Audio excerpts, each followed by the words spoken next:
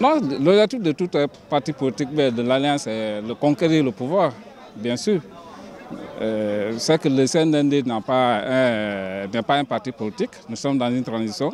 Tous les partis politiques sont en train de conquérir le pouvoir. Donc l'objectif de l'Alliance, c'est de conquérir le pouvoir ou les députations, les, élections locales et municipales. nous, nous faisons des, des démarches qui sont objectives. Nous ne partons pas parce que nous sommes en insécurité.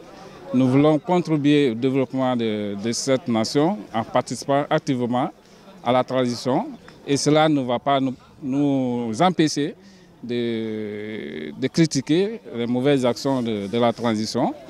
Et nous sommes toujours euh, un parti politique ou une alliance qui a les mêmes objectifs, qui défend la tendance et la démocratie en, Guinée. Pour le moment, je ne pense pas qu'on n'a pas de lien avec les autorités actuelles. Nous, nous, avons une feuille de route, c'est pour conquérir le pouvoir et que la transition se passe dans les bonnes conditions.